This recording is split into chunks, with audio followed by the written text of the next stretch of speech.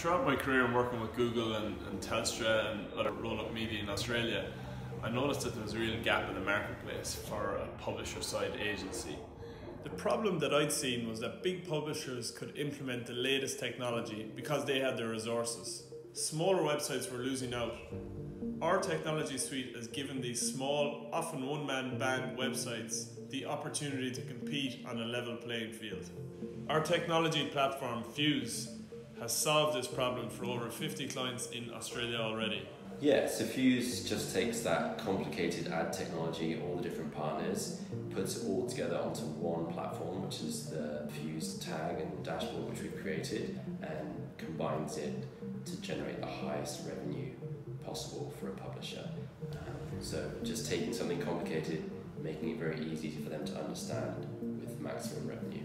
We're trying to make things easier for publishers. We're also trying to make working life easier for our team in that you know if they've got projects and hobbies, we want to be able to do that in the future when when we have really built the system so it's fairly autonomous. I, I find it difficult to describe it, but maybe other Irish people might know what I'm talking about. But it's kind of like if I go out and have a couple of pints with someone and I go around, I will nearly try and arrange meeting with that other person for the next night so I can pay them back that round.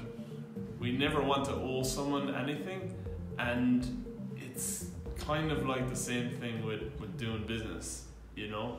You want to make sure that you're providing the best service or providing the best product. That's the vision of the business. You know, we have a vision and mission statement and we place a big emphasis on the why.